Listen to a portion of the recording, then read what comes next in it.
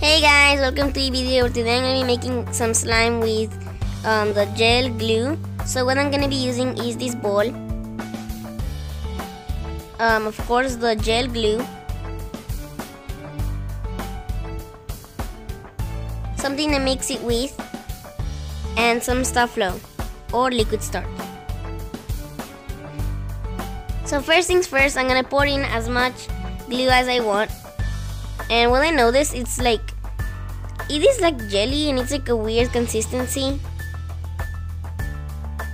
Then um, I poured in some liquid starch.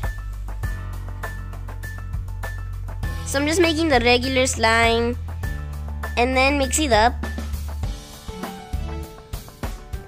And immediately I can see the results that it is starting to clump up. And you can um, put in some food coloring but I decided that I wouldn't because I really love this like frozen blue.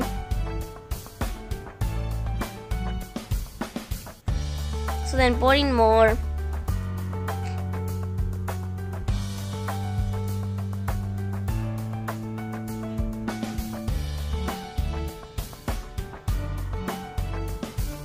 And then once it starts to clump up just go ahead and grab it with your hands and start to knead it like so and I really really love the color. It was really stretchy. Um not much difference but it is sort of like more jelly like so just knead it until um, you're satisfied with what you want. If you need more liquid starch and go ahead and pour in more liquid starch.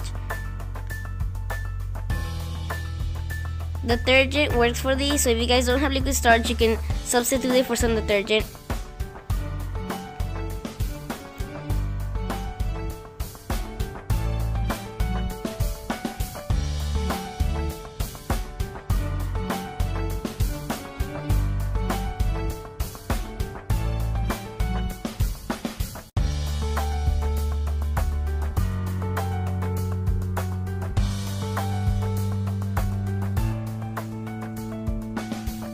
So this is what it turned out after I kneaded it and everything and it gave it like this really frozen color which was really pretty and as you can see it's really stretchy.